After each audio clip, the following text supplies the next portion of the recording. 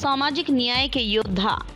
विचारक, लेखक, पूर्व सांसद इलियास आजमी के निधन पर मोहम्मदी गुलोली रोड स्थित सेलिब्रेशन लॉन पर एक श्रद्धांजलि सभा का आयोजन किया गया। इस मौके पर मौलाना मजिदुल्ला मौलाना सईद कासमी द्वारा कुरान की आयात पढ़कर मरहूम के लिए मगफिरत की दुआ की गई। श्रद्धांजलि सभा को संबोधित करते हुए कहा, मैं अपने वालद की जगह तो नहीं ले सकता, लेकिन इंशाअल्लाह उनकी कमी लखीमपुर खीरी के लोगों को कभी महसूस नहीं होने दूँगा। स्वर्गीय लियास आजमी ज़िंदगी भर समाज सेवा कार्य करते रहे, वो एक नेक इंसान थे। इसके अतिरिक्त आरिफ पहलवान, सगीर आलम सिद्दगी इकरार खान, रेहान खान आदि ने मरहूम को श्रद्धांजलि अर्पित की। सभा का संचालन संगपाल जौहर ने किया। इस मौके पर सैकड़ों लोग मौजूद रहे। सभी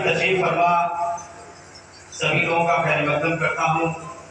अभी हमसे पहले बहुत ही सीनियर लोगों ने जिस तरीके से मरहूम इलियास आदमी साहब के बारे में बहुत ही अच्छी तरीके से बताया।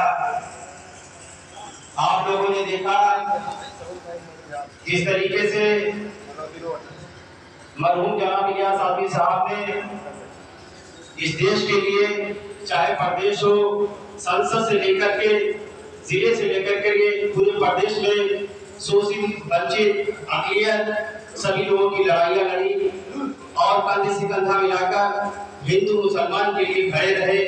और अमन का पैगाम, कौमी एकजहती का पैगाम लेकर के उन्होंने कौम को एक प्लेटफार्म पर, एक प्लेटफार्म पर